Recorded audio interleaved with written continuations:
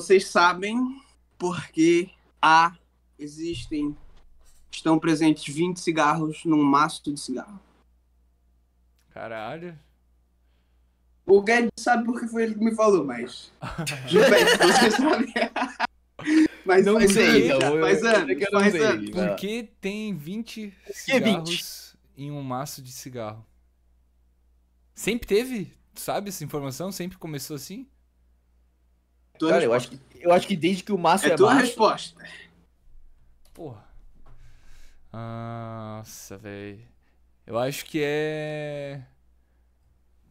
Sei lá, alguma coisa em relação à produção, assim, sei lá, a 20. Ó, existem, tipo, questões, óbvio, históricas de quando o cigarro começou a ver- ser vendido e discussões, né? Tipo assim, ah, tinha cinco cigarros e questão, tipo, ah, a pessoa tá fumando mais e tal. Mas, segundo eu, me quebrou nas pernas aqui. Mas, assim, o negócio dos 20 cigarros, farmacologicamente falando, é porque nas suas horas livres do dia, que são as horas que você não está dormindo, trabalhando, comendo, tomando banho, você tem, em média, 10 horas por dia. Livres. Caralho. 10 horinhas. E 10 geralmente uma crise de abstinência para quem é viciado em cigarro, ela ocorre de meia em meia hora. Ou à Ok. vontade, ou para evitar que exista essas crises de abstinência, o que, que eles fazem? Bota 20 cigarrinhos, num dia o cara consegue fumar os 20, não passa por uma crise de abstinência e tô. Então seria um, um pack por dia, uma questão comercial ali baseada na biologia. Nossa, forte, hein? Eu não, Porque- sei, eu não sei se a origem, se como se manteve, ou blá blá blá blá blá blá, foi assim, mas pelo que eu sei, que tu me falou, inclusive, é isso. Cara, mas eles, Porque realmente- aí, eles têm pesquisa disso, né? Provavelmente. É isso, né? Porque- É porque, tipo assim, na época que os caras começaram a fazer essas paradas, tu não precisa nem de pesquisa, né? Tipo assim, tu, tu pergunta pro fumante, a cada quanto tempo tu fuma? O fumante vai dizer, pô, a cada meia horinha tô, tô dando-lhe um, tá ligado? Eu- quando eu fumava, como tá no vídeo aí, né? Quando eu fumava, era, sei lá, cada. Quando eu tava no tempo livre, tipo assim, você não tava trampando, não tava, tipo. Até trampando na real, né? Mas, tipo assim, você não tava comendo, tomando banho, que nem o José falou.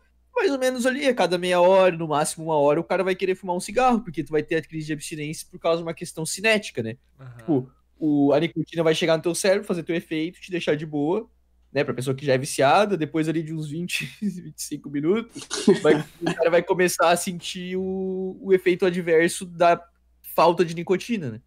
Então, Uhum. eles pensaram, tipo assim, se a gente vender uma, uma carteira de 20 cigarros, todo dia o cara vai comprar uma, entendeu? O que é uma, uma, uma parada boa do ponto de vista comercial, né? De, do business da parada, Uhum. não é?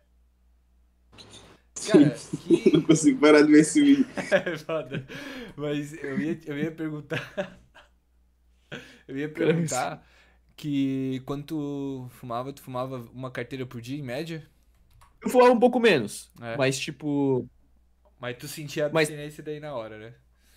É, tipo, é mais ou menos isso, ali, tipo, uma meia hora depois de ter fumado, tu já começa a sentir de novo. Sim. Que pira, velho, isso daí. É, tu com- a- passa uma meia hora e começa a sentir a vontade, né? É que a abstinência, o sintoma é diferente, né? Tipo, abstinência, abstinência, abstinência, mas a vontade, que faz parte de um dos sintomas da abstinência, começa ali pela meia hora, uma hora. Sim. E óbvio que tá relacionado a outros fatores, né? Tipo, comer, beber, blá blá blá, dá mais vontade, né? Pois é, depois do almoço, pô, cigarrinho depois do almoço era brabo. É bom pra Uhum. digestão também, né? E, cara, tem, tem até processos de tipo. Querendo ou não, né? A, a nicotina. Quando tu vai. Cara- Eu, eu tinha uma pira de, tipo, de ler um artigo. Antes de ler um artigo.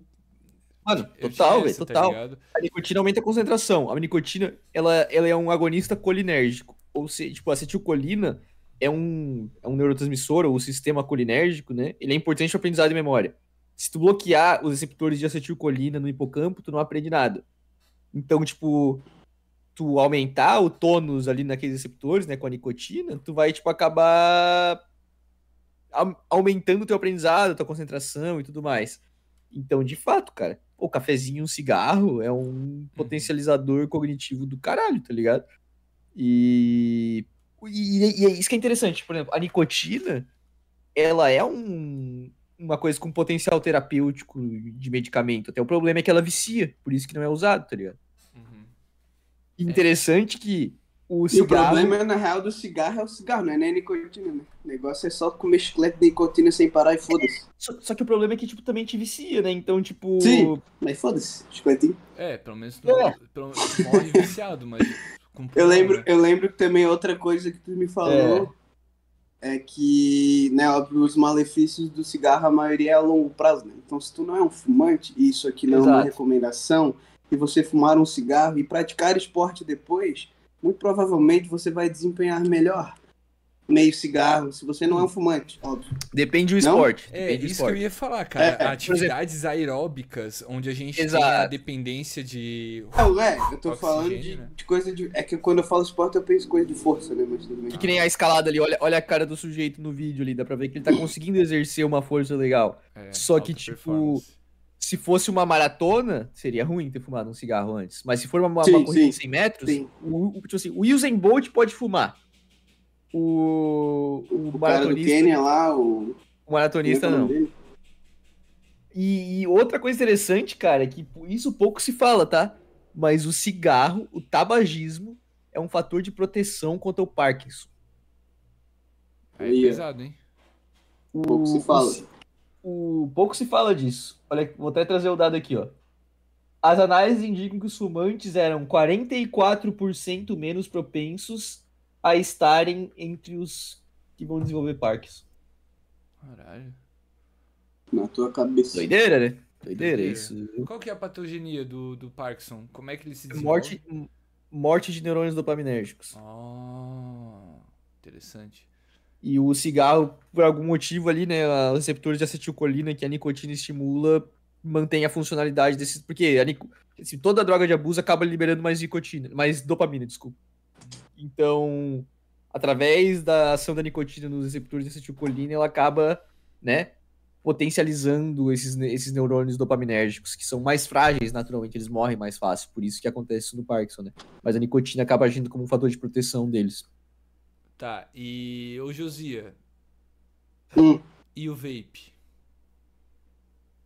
Pouco estudo.